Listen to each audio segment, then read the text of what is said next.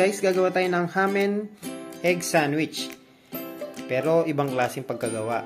Ituturo sa inyo guys. So, kailangan natin ng gardenia pan, ham, sliced cheese, egg, butter, tsaka mayonnaise. So, yun guys, papakita ko sa inyo guys. So, yun guys. Una, kunin natin dalawang itlog.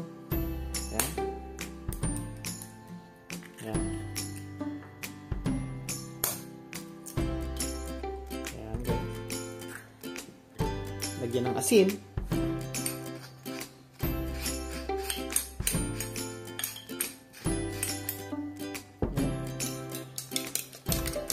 Ibit lang natin.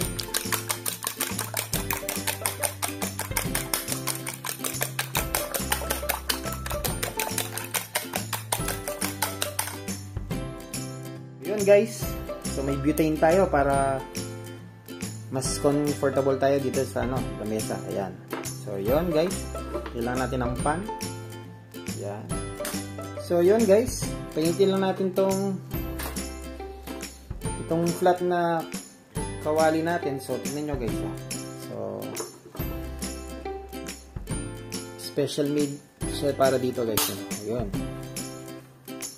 So yun guys. Yun. Buksan natin yung ano. Kawali natin. Yan. So, inahan lang natin guys.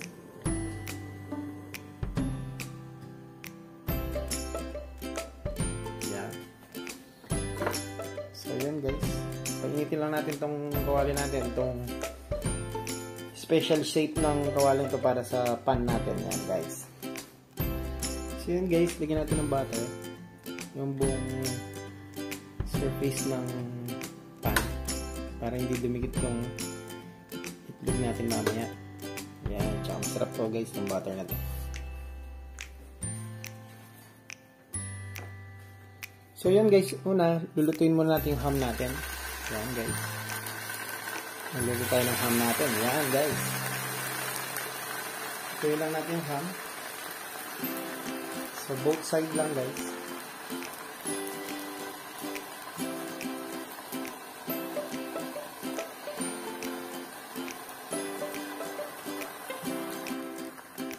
So, yun. Sa other side naman, guys, yan. Breaker lang natin siya. Yan. Actually, cook na tong ham na to, guys. So, iniinit lang natin siya. Yan, guys.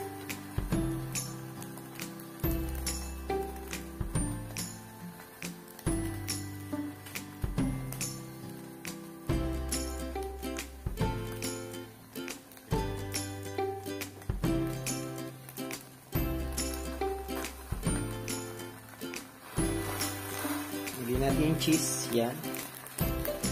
Para mag-melt siya. Yan, guys. Higitin lang natin siya ganyan, guys. Yan. Para mag-melt siya mamaya. Yan. Yan, guys. Ganyan lang.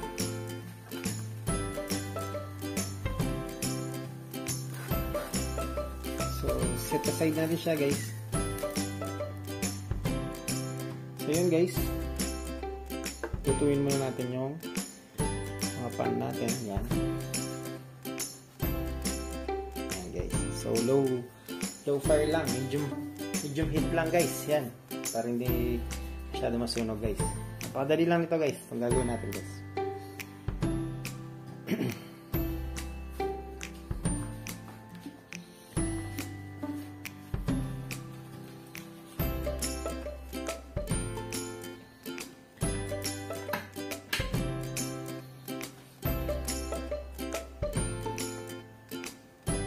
kabila naman guys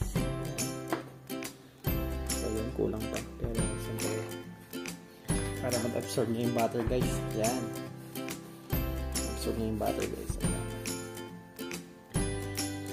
parang may butter butter pa siya na taste butter taste like butter sabi nga nila guys What?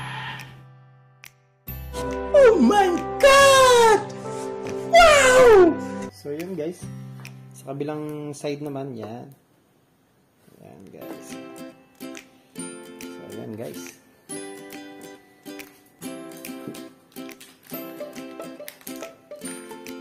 Yan guys, lalagyan na natin siya ng mayonnaise. Yan.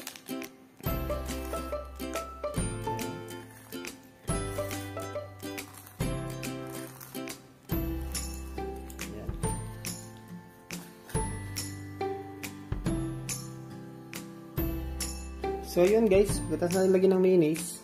Yan. So yun guys, ipatong lang natin yung ham na nilagay natin. Yan. Yan guys. Tapos lagyan natin yung itlog guys. Yan. Yan. Pantay-pantay dapat yan guys.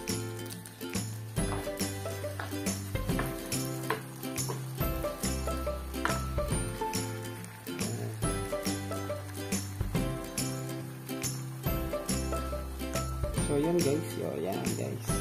Pantay-pantay dapat yung itlog. Yung buong part ng kawalit. Lagyan siya ng itlog. Yan. So, medium fire lang guys. Yun. Lutuin lang natin siya. So, yun guys. Hintayin lang natin maluto yung itlog. So, malapit na to guys. So, gagawin lang natin guys. Itutupi lang natin siya guys. Yan. Yan.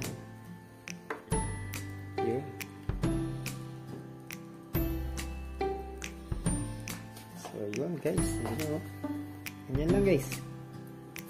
Kabilang side naman. Yan. Hop. Yan, medyo nakapal yung itlog dito guys. oh. Yan. So, tutupi lang natin siya guys. So, yun guys. Oh.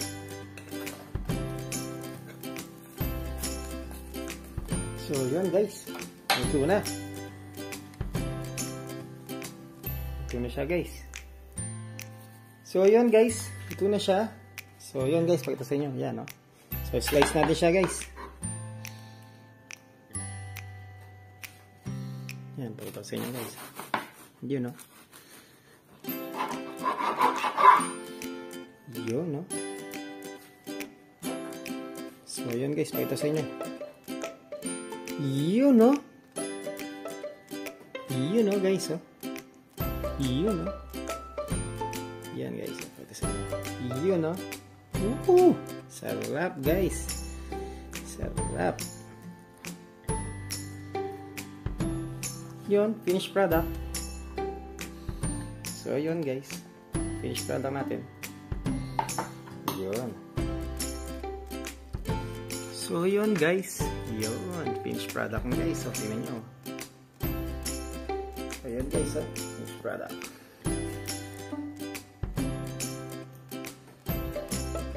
Okay guys. Tingnan natin.